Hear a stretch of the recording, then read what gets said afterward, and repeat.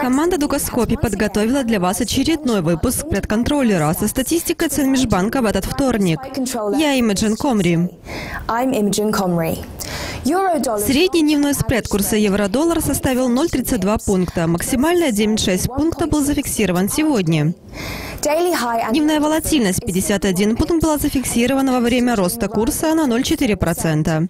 Спреды были немного расширенными сегодня в 9 утра во время оглашения индекс бизнес-уверенности Германии, но максимальный приемлемый составил 1,6 пункта. Максимальный дневной спред курса фунт-доллар составил 1,09 пункта, а за последние 4 часа 6 пунктов. За последние 24 часа курс упал на 0,55% или 90 пунктов. CPI и PPI Британии были оглашены сегодня в 8.30 утра, что повлияло на расширение спредов.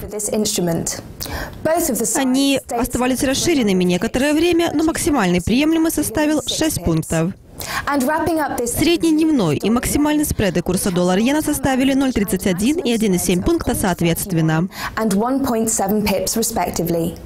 Тренд этой пары изменялся, наибольшим движением стал рост на 0,37% или 40 пунктов.